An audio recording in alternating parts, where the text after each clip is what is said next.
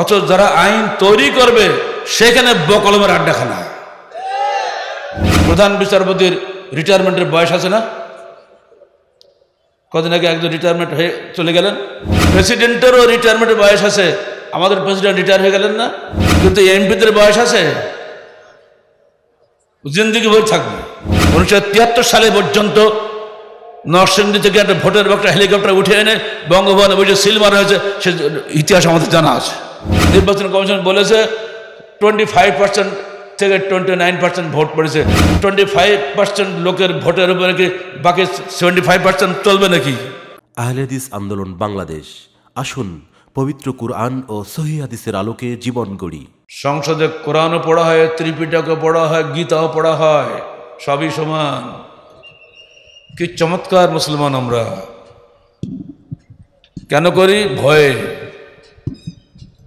ওটের উত্তর আল্লাহ ফলা তাকসাউ হুম অকসাউনি কাপড়দের ভয় করো না, আমাকে ভয় করো। ভীতু কাপুরুষ দিয়ে কষ্ট গেলে রাষ্ট্র চলে না, সমাজ চলে না, সংগঠন চলে না, কিছুই চলে না। নেতা হবে সাহসী, নেতা কখনো ভীত হতে পারে না। অথচ আমরা ভীত। যখন যেদিক থেকে বাতাস আসে, আপোষ করার বুদ্ধি খুঁজে বেড়াই।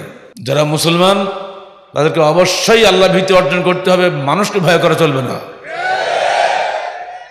বিশেষ করে যারা নেতৃত্বে আছেন, তাদেরকে আল্লাহ কাছে বেশি কৈফিয়ত দিতে হবে। যিনি যে পর্যায়ের নেতা, ইসলামের পক্ষে তিনি কথা বলবেন দ্ব্যর্থহীনভাবে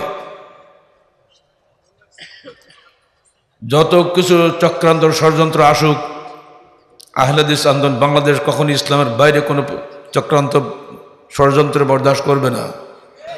আমরা দেশের নাগরিক, আমরা ভেসে আসি নাই।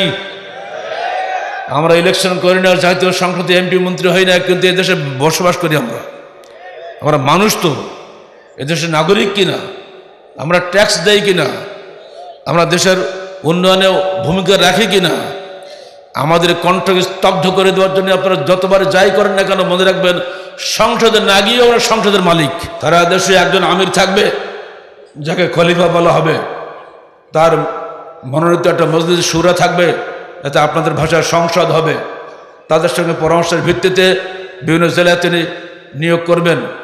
প্রচলিত নিয়ম অনুযায়ী দেশের প্রেসিডেন্ট, সমস্ত প্রশাসন বিভাগ নিয়োগ নিয়োগ দেন।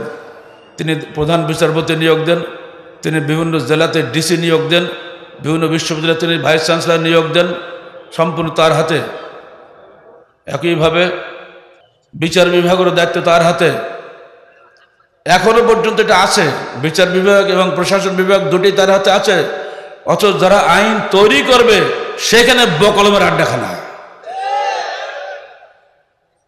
প্রধান বিচারপতির রিটায়ারমেন্টের বয়স আছে না? কদিন আগে একজন রিটায়ারমেন্ট হয়ে চলে গেলেন। প্রেসিডেন্টেরও রিটায়ারমেন্টের বয়স আছে। আমাদের প্রেসিডেন্ট রিটায়ার হয়ে গেলেন না? কিন্তু এমপিদের বয়স আছে। জিন্দিগি ভোট থাকবে।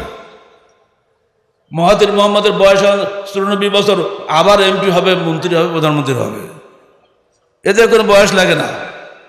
কিন্তু জানুক আর না জানুক স্যালুট দেওয়ার জন্য এরা সংসদে যায়। সাড়ে তিনশো এমপি, ষাট জন হলে কোরাম হয় অত ষাট জনও পড়ে না। তাহলে এরা এমপি করেটা কি? ইসলামের রাজনৈতিক সাইডটা হলে এই আহলে বাংলাদেশ ওই রাজনীতি বিশ্বাস করে যদি কখনো এদেশের কোনো নির্বাচন আসে, আপনারা কোরআন এবং হাদিস ভিত্তিক রাজনীতি চান না প্রচলিত তন্ত্র ভিত্তিক রাজনীতি চান, সেদিন আহলে আন্দোলন বাংলাদেশের প্রত্যেকটা নেতাকর্মী ভোট দেবে সেদিন। তার আগে কখনো ভোট দেবে না। ভোটের বাক্স দিক তাকাবে না। কারণ আমরা জানি উনিশশো তিয়াত্তর সালে পর্যন্ত নরসিংদী থেকে একটা ভোটের একটা হেলিকপ্টার উঠে এনে বঙ্গভবনে বসে সিল মারা হয়েছে, সে ইতিহাস আমাদের জানা আছে। তখন থেকে এই সিল মারায় ভোট চলছে, আর এখন তো আর দিনও লাগে না আগের দিন ভরে যাচ্ছে। কদিন আগে গাইবান্ধা ভোট হলো, নির্বাচন কমিশন বলেছে টোয়েন্টি ফাইভ পার্সেন্ট থেকে টোয়েন্টি নাইন পার্সেন্ট ভোট পড়েছে। টোয়েন্টি ফাইভ পার্সেন্ট লোকের ভোটের উপরে কি বাকি সেভেন্টি ফাইভ পার্সেন্ট চলবে নাকি? অধিকাংশ রায় চূড়ান্ত, এখানে তো মাইনরিটির রায় চূড়ান্ত হয়ে গেল। তাহলে কি চলছে এগুলো? দেশের ধনীর সংখ্যা বেড়েছে, আমাদের সরকার খুবই খুশি।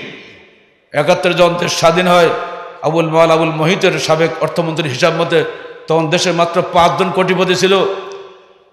পাকিস্তান আমলে একশো ছাপ্পান্ন জন কোটিপতি হলো। উনি বছর আমার আমলে পনেরো হাজার নয়শো রুপে কোটিপতি, যারা ব্যাংকে কোটি কোটি টাকার হোল্ডার। আর এখন যে কত লাখ হয়েছে, আল্লাহ ভালো জানে। এখন নদাবাদে কয়েক ডজন আছে কোটিপতি। কোটিপতি বাড়ছে, কিন্তু পাশের গরিবের অবস্থা করে দেখেছে। যদি এইভাবে কোনো হিসাব হয়তো ধনী কত দেশে, গরিব কত দেশে, এরকম ধরনের যদি আদমশুমারি হইতো তখনই আমরা বলতে পারতাম। কিন্তু আমাদের সেই আদমশুমারি কখনই আমাদের হবে না দেশে, তা করলে নেতাদের গুমর ফাঁক হয়ে যাবে।